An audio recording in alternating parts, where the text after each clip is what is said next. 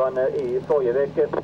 USA har advart regimet i Bagdad mot å bruke fly i det interne maktoppgjøret, og amerikanerne har de siste dagene to irakiske Angrepet mot Kirkuk var rapportert noen timer etter en annen iraksk motstandsgruppe skulle regjeringsstyrkene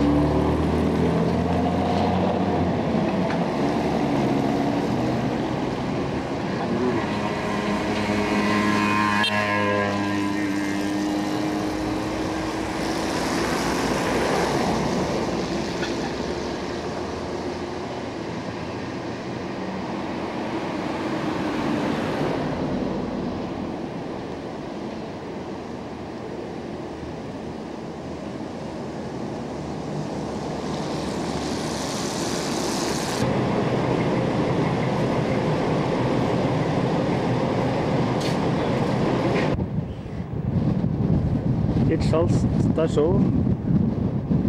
En blåsende dag i april.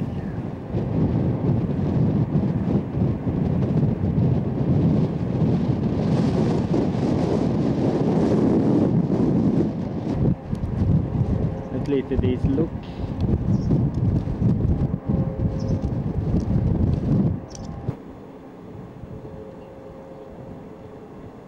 Jernbanestasjonen.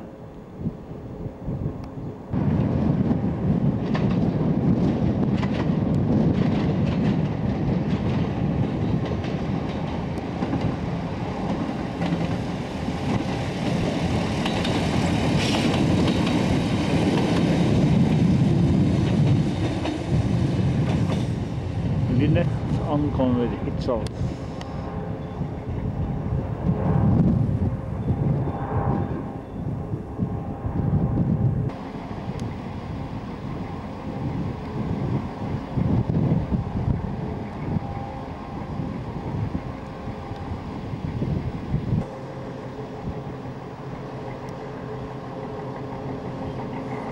Leute am Land